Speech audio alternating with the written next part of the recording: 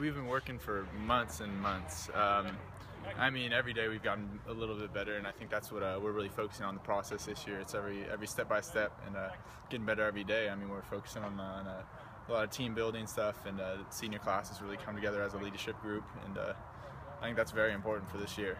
Um, us leading the younger guys and really showing them the way. A lot of, shit, a lot of it was uh, leadership. Mm-hmm. Um, I'm really just trying to lead by example this year and really show these guys the Laker way. And um, I think that's the main thing I'm trying to leave back is my legacy is really working hard as my uh, my final year and leaving something back. I mean, I think it's the little things. Um, I mean, us as a leadership group, as a senior group, have really talked about getting this school um, back to where it's supposed to be, and uh, not just the football field, um, every sport, and really supporting this school as a whole, and uh, really showing the people inside that we care about them, and then uh, in return they'll come and support us. Changed up a, uh, a few things this year, and I, am really enjoying it. Um, I mean, I won't tell you what it is. Sure, I got you. Yeah, um, but I think I have a huge role in it. I mean, I am calling the shots this year, and I think these guys the, on the offensive side are really looking up to me to really keep it going and get it going.